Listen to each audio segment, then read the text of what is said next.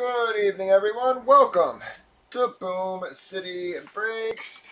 This here is a Friday, March the 30th, and tonight we are breaking Hit Parade's inaugural batting helmet series, and it would be box 41 of 100 from Series 1.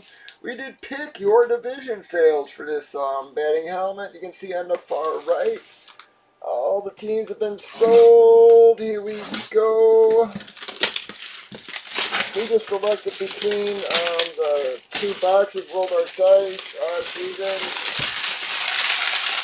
Odd, so we're breaking this one. Slice our side seals. I'm sorry if I sneeze, folks. My allergies are killing me. I think I'm gonna looks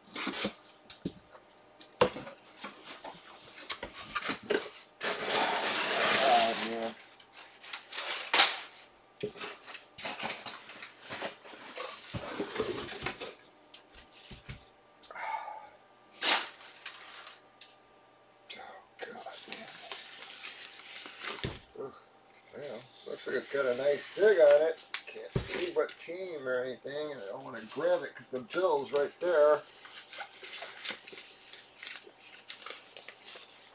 Boom! It's going to be a Cincinnati Reds Johnny Bench, folks.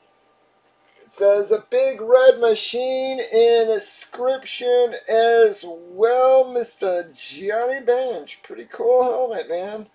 Beautiful inscription on it. Big red machine.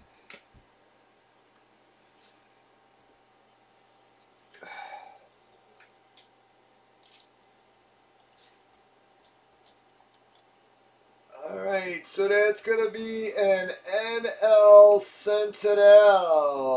NL Central. So there you go, Bengals. didn't really even know who you wanted, and then you end up with a beautiful Johnny Bench. Folks, um, this one has your JSA certification on the baby stuffed inside that. So good. Got a great inscription, bud. Um, really looks nice. Um, really great, nice sig, red machine on that, baby. I'm actually going to put it in the other way because I really don't like that you got to grab it right where they got the damn SIGs. Alright, so that's going to wrap up that one. Fellas.